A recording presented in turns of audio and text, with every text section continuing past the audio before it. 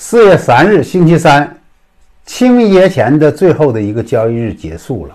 那么出现了小幅的震荡整理，那么好像貌似很强。那么节后能不能长阳突破，一举突破三零九零，站到三千一百点的上方去？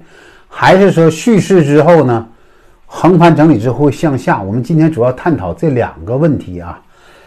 今天这种走势呢，应该是说眉飞色舞的行情。你看，煤炭下午快速启动啊，上午这几天有色金属走的都特别强啊，贵金属的在避险情绪的这种带动下连续大涨啊，已经创了历史的新高了。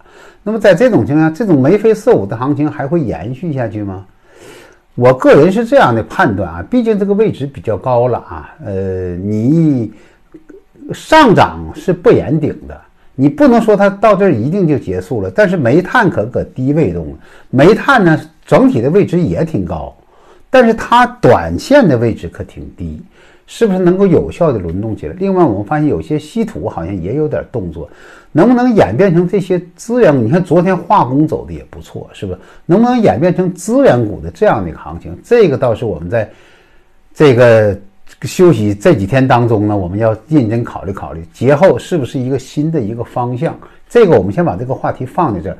放面呢，我们这休息期间呢，然后我们给大家做一个板块上的分析，还有本周的评论。那本周虽然只有三天，但它也是收周线的，是不是？我们先来看看今天的走势啊。今天呢，应该说两市的成交量呢进一步的小幅萎缩，但是还是维持在了九千亿的上方。但是有一个事情必须要说的是。北上的资金，北向的资金呢，是一直在这么流出，向下流出的。昨天它是前两天不休息了两天，然后昨天跟今天都是流出的二十多个亿啊。另外，昨天内资是流入的，今天内资也跑了好几百个亿。今天在眉飞色舞的情况下下呢，这个科技股跌的可够惨的了。另外来讲呢，我们发现还有两个重要的细节，我不知道大家看到没有，就是说白酒实际是有业绩报是预喜的。但是呢，它是冲高回落的，这是一个。另外呢，券商这两天实际是有频繁有利好的并购啊、重组啊，但是也没有起来。今天也是拖累指数的。虽然我们看到了这样的盘面的现象，你在尾盘的时候，券商有资金在买，确实有科技股的有些东西前期强势的品种当中，确实尾盘有资金在买，但是它毕竟是这这今天杀的有点狠，科科技股，对不对啊？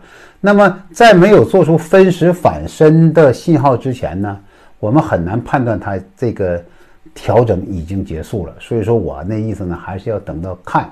我总的来讲呢，这里面给大家这样的一个观点啊，呃，你看，我们用十五分钟图上看啊，实际这几天的低点呢，都是你看，这天是三零六三。昨天是三零六三，今天一度到三零六三这也撑了一下，但击穿之后又收回来，还好就算站上了。那么这个三零六三呢，很显然变成了一个颈线位。如果它是一个颈线位的话，大家看一看，这是三零八五，这两边是不是也有点尖的意思啊？是不是？所以说，看着如果要突破的话呢，那么这个地方就是一个整理区间。那么这种整理区间就看节后是否向上启动板块进行攻击。现在这个方向是不明的，你不能一定断定说必须得向上攻击。那么我们怎么办呢？我们一定要等到这个攻击的信号出现了，那一定是一颗放量的东西，一定会有启动的板块。那个时候我们再跟踪那个板块上去就完了。所以说我呢今天直播的中心思想就是叫大家暂时性的降低仓位，降到三成仓左右，应对。这个期间的不确定性，你讲这个可能有点跌破的意思啊。另外来讲，今天这个，你看这个，你看还有一个细节，就是白酒处理好之后它不涨，它回落了，券商为什么不动？银行也没有表现。那眉飞色舞，它能这这这这石油等等，它能撑住吗？可能性不太大。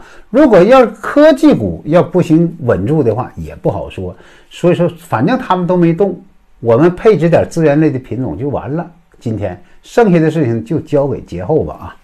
那么从大周期上看啊，我们说必须要说明的是啊，那么有人说总是要我解释一下，说老师你为什么说不是一个月两个月的上涨？大家记住，上涨呢是跟下跌是有一定对称性的。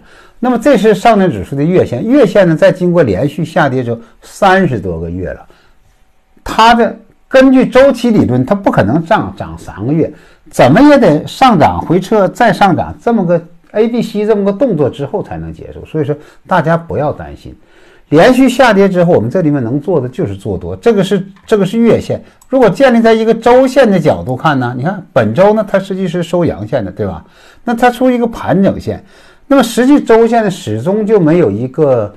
非常好的调整，当然了，有些板块已经出现了比较充分的调整，但是板块充分调，你要一定要轮动起来呀。我们还看不出来太多的轮动的这种盘面的现象，除了有色金属是连续发生的，是不是？煤炭还是调一调的，但其他的呢，并不明确，是不是？